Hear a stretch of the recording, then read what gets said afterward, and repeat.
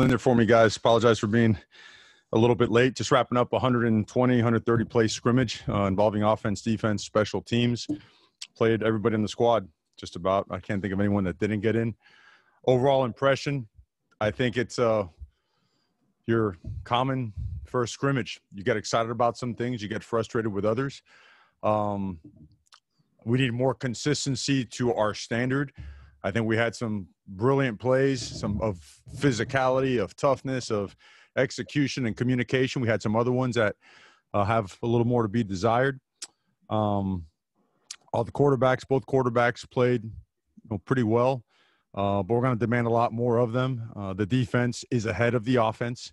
Certainly, if you had to judge it by who actually won the scrimmage, I would say the defense did, but I would say the offense is certainly coming along and made a lot of plays uh, as well. So, all in all, I think um, it's it's it's great to talk to a group of young men that understand what our standard is and that they know okay this is scrimmage one which we treat like game one. We have a game in three weeks and we got to continue to get better and better. Uh, came out of this with no injuries it looks like at least nothing major. So with that being said open to questions. All right we'll start it off with uh, james Crepea from the oregonian. Mario, with the top two quarterbacks, uh, did either of them do anything uh, particularly of note, lead touchdown drives or, or have any turnovers or anything? And did anyone other than Sean Dollars was uh, anybody else limited in any way? No, Sean Dollars was limited. He'll be a full go on Monday. Um, the both quarterbacks they had their moments, both good and bad. Um, tough to say that there was any separation without looking at the tape. Got to make sure with the rotation of wide receivers and tight ends in there, um, if there was any issues in terms of you know, the actual play itself and lining up and route running and everything. But uh, I, they both had their moments. They both uh, are guys that we feel that we can win with. Tyler took just about every rep with the ones, and Anthony took uh, the reps with the twos. And um, yep, that about sums it up for the quarterbacks. Next question, AJ Jacobson from Rivals. Hey, Coach, I realize you haven't had the benefit of watching film yet of this, but you know, just based off what you just saw, who kind of stood out to you or surprised you? Well, I thought our linebacking corps, the older guys and the young guys, really stand out. Uh, they are they're physical.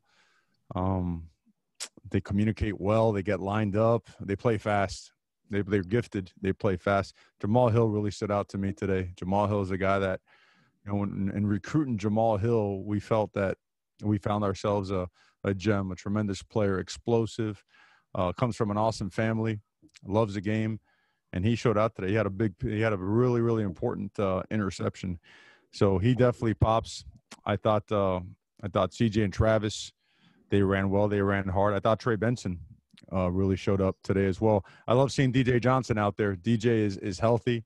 He is, he's a big man, and he can run and he can catch, and he's really going to help us out. Patrick Herbert did a nice job. Isaac Slade continues to impress. Kayvon Thibodeaux uh, continues to be a problem, you know, when he's out there. And it's not just third down on first and second down. He does really well. Probably the, one of the best plays of the day goes to Jordan Scott on a short yardage play. Jordan just did a great job just splitting uh, a double team in the A gaps and coming up with a tackle for loss on, on a critical short yardage play. So um, without watch, that's without watching film. I could go, I could go on with a few more, but um, those are some that come. I know Johnny Johnny Johnson also uh, continues just just he works so hard. He just gets better, makes plays. Next question comes from Ashley Young, NBC Sports Northwest. Coach Cristobal, you mentioned that you know there's no winner, real winner and loser here, but you mentioned the defense kind of stepped up big today over the offense. How much of a difference do you see in having Deommodore Lenoir back in the secondary for you this year? No, he's he was really good over the last three years.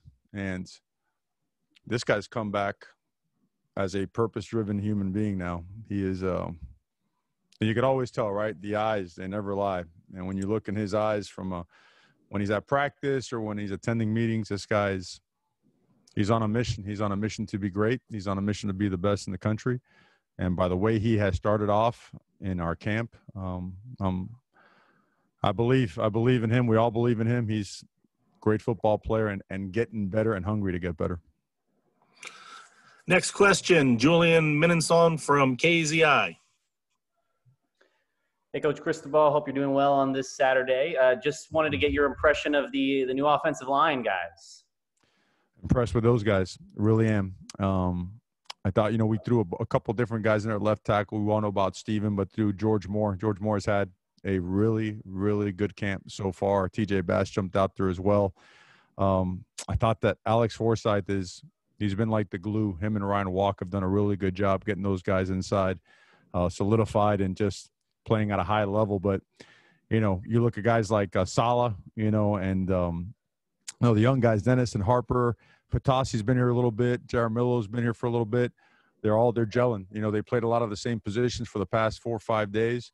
Today we moved around a little bit on one of the sides, and and they perform they perform pretty well. I'm I'm looking forward to looking at the tape uh, from an alignment standpoint, split standpoint. You know, playing with power, pad level, technique, um, but just judging from what I saw out there, there there's definitely some progress that lends us to believe that's going to be a good offensive line, a really good offensive line. Next question, Ryan Thorburn, the register guard. Mario Kayvon was saying the other day that, you know, before his freshman year, his goal was to get 10 sacks. Before this year, his goal is to grade out to, prefer- to perfection. Um, how big of a help is that to have your best player or one of your best players wanting to be coached really hard and to uh, be an every down guy? Well, when, when when a guy wants to keep learning and getting better, it it makes the locker room different, and it's something that we hit upon our players all the time, especially KT. It's um, you know, obviously, you know, he's very talented, very gifted, extremely smart guy.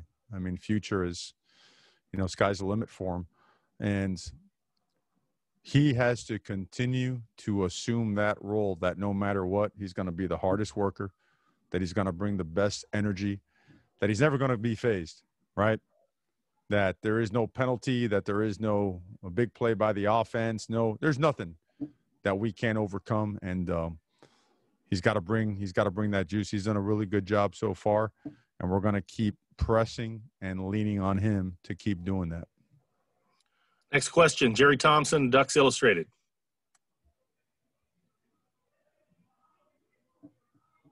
Jerry, you need to unmute yourself. There we go. Okay, I coach. Uh, how about the kicking game? Did you get a chance to specifically field goals uh, today? Yeah, we missed one today. We missed one that we should have made, and we had been really good in practice. We had hit, I think, 14 of 16 leading up to today. Um, and the one that we tried today, we didn't hit. I think we tried another one that we split the uprights on. Um, we didn't kick any extra points. Kickoffs were good. Punts were were were okay you know, we like the average, you know, in the 44, 45 yard range and hang them up there a little bit. We were close to it, not exactly up to the standard, uh, but the coverage teams that go with them did really well. So, yeah, we um, we've been doing good in the kicking game today. It wasn't what we expected, but we'll get back on track on Monday. Next up, Eric Skopil from 247 Sports. Hey Mario, I guess what are you mentioned this is kind of a typical first scrimmage. You, you have another one scheduled next Saturday. What are typically some of the differences you see from scrimmage one to two? Kind of what are you hoping to see there? And then on Monday, what kind of things are you hoping to see just in terms of the reaction after coming back from a big scrimmage on Saturday? Yeah, the biggest difference in scrimmage one is that it's the first time the players are out there and they're by themselves, right? When you're playing ball and you're running all these these unit drills, a team run, inside run, seven on seven, half line pass coaches are you know proximal to the players. They can bark out corrections and commands and all of a sudden the players go out there and it's silence you know? And, and yesterday we try to get them used to that by having them out there and other coaches off the field. And um, that's different now they got to be on auto correct right i know that's a different year where there, there aren't many people in the stands you're probably going to be able to communicate more verbally but i think that's the biggest difference so all of a sudden it was like man we are we got to do this on our own. And a lot of guys did well. I mean, a lot of guys just they picked off where they they picked up where they left off last year, and uh, and other guys they had their moments. You know, they two minute drill, right? There's a way to run two minute drill. When that ball is put down or that ball is chucked down the field, you better be flying, right? You better be getting there quickly and getting set. So I just think playing the game, uh, playing the game itself again and again and again, calling it right. Our coordinators calling the game and getting in football mode using the sidelines, you know, like we do right now this year, you're 15 of the 15 and being able to walk that entire length. I just think all game day processes, um, which we every single day we do them every single day. We just got to keep just grinding on them. It comes down to that, right? And and there's not a ton of time. There's not a ton, but overall, I feel good as to where we are. um, because of the hunger of the team, the drive and determination displayed by the team. Next up, Matt Prehm, 247 Sports. Mario, uh, Mycah yesterday told us that he's playing more on the outside now instead of in the in the slot. I'm just kind of curious your thoughts on your receiving corps and just what you've seen from this group and in particular today. Well, Mike is playing all over the place. So he plays his normal slot position that he's played. He's played outside. He's played inside. Um, he's an excellent football player, and he's another guy that, in terms of playing the game the way it's supposed to be played, he embodies that completely. He's always going to be a a guy that outworks a competition. It's going to be physical, whether he has the ball in his hands or not.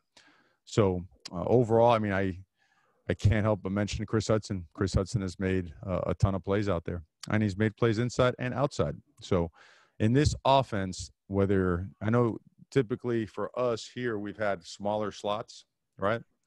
Well, in this offense, you've got to have interchangeable parts because of the way that we use our personnel, you know, and sometimes we may be misplacing personnel to create matchups. So, um, but he's six. I thought, I thought, of course, Jaylon Redd is has always been a, a great player for us. But I, I, think that both Chris Hudson and um, and Josh Josh Delgado deserve some mention as well. He had a couple big catches out there today. Next question, uh, back to James Crepea from the Oregonian.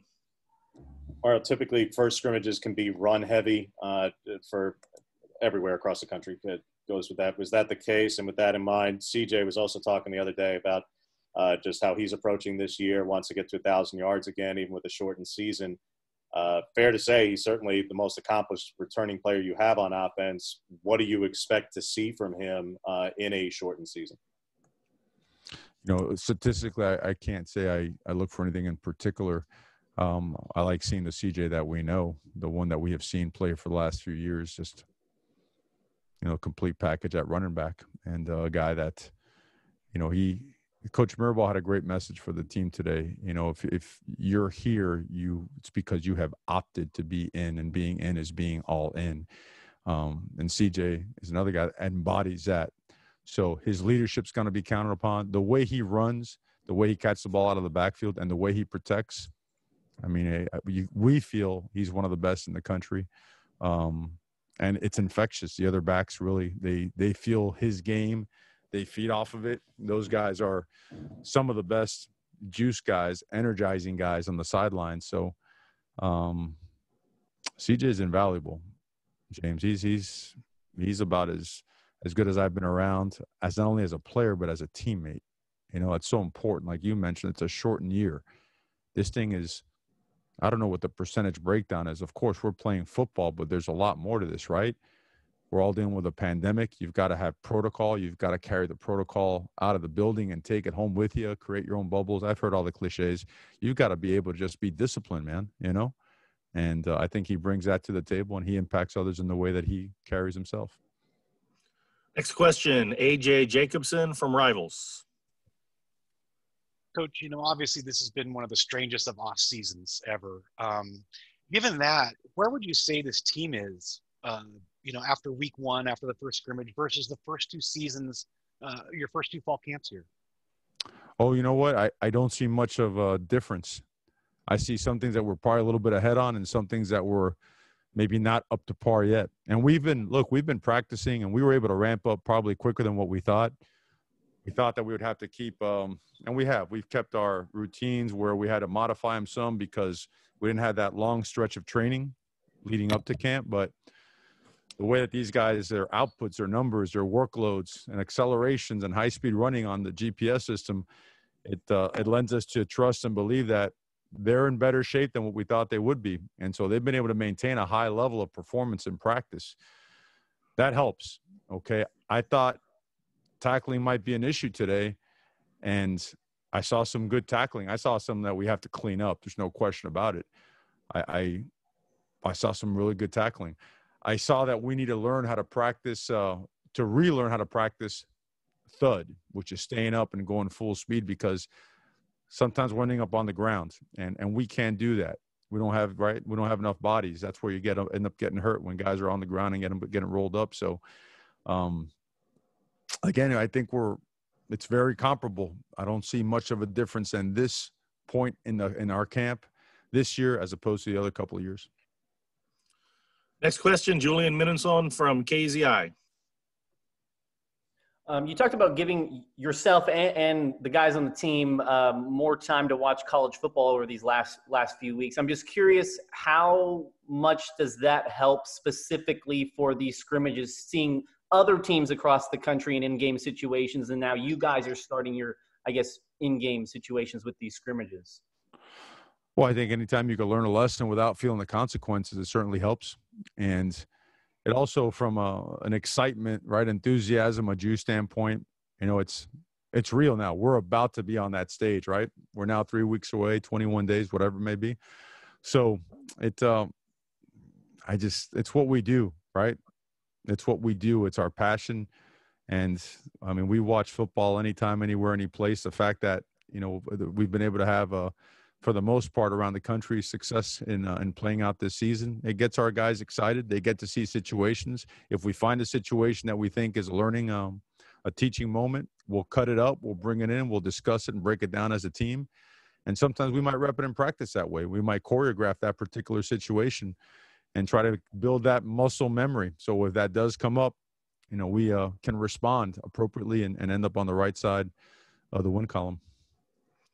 We got time for two more. Uh, next up is Ryan Thorburn from the Register Guard.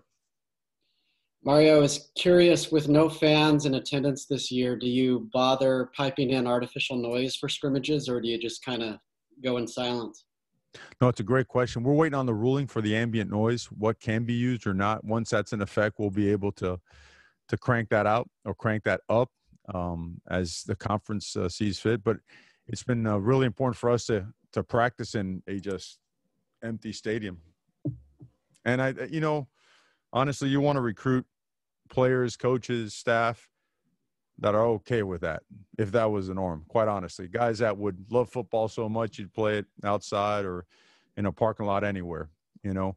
Now that being said, there's we all know there there is no place like Autzen Stadium, and so since our people, our family, our can't be there, we have to bring it, right? We have to, when we pack our bags on Friday to go to the, the hotel or to travel, we've got to pack our juice. We got to pack our enthusiasm. We got to pack our own Autzen and unleash it come game day. And you have to practice that. You have to practice sustaining juice and energy throughout practice. And you have to create practice periods that require you to respond, right? in a place that's empty that doesn't have a crowd where you have got to create your own momentum so all in all it's um we've been preparing for it and i think we're going to benefit a lot from that. Final question goes to matt prehm 247 sports. Yeah mario haven't heard much discussion um, from a couple guys. One jonah along the offensive line. I know there was a lot of optimism when he when he signed with you. Kind of what's the status with him? And then receiver spot with Waters and Wilhoite. I know you were very high on them prior to their injuries in camp last year. Just kind of where are they from a development standpoint? Sure. Well, in Jonah's case, he got a little dinged up, so we've been holding him out. Uh, we don't think it's anything serious. We expect him to be back. So in the meantime, others have gotten reps there. In terms of the other spot, I think some other wide receivers have stepped up.